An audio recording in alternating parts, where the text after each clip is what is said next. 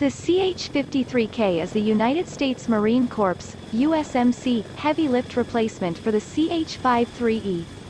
The most powerful helicopter in the Department of Defense, the CH-53K is a new-build helicopter that will expand the fleet's ability to move more material, more rapidly throughout the area of responsibility using proven and mature technologies.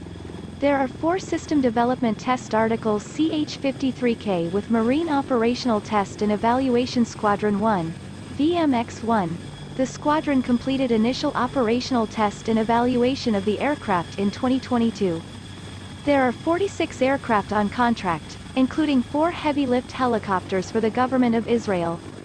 Designed to lift nearly 14 tons, 27,000 pounds, 12,247 kilograms, at a mission radius of 110 nautical miles, 203 kilometers, in Navy-high, hot environments, the CH-53K is capable of lifting almost triple the baseline CH-53E lift capability. It is also designed to have a smaller shipboard footprint, lower operating costs per aircraft, and less direct maintenance man-hours per flight hour.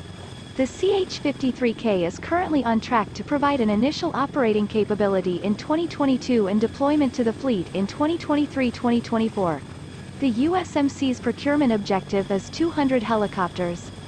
Sikorsky, a Lockheed Martin company, delivered the third low-rate initial production CH-53K King Stallion helicopter ahead of contract schedule to the U.S. Marine Corps, the company said July 14.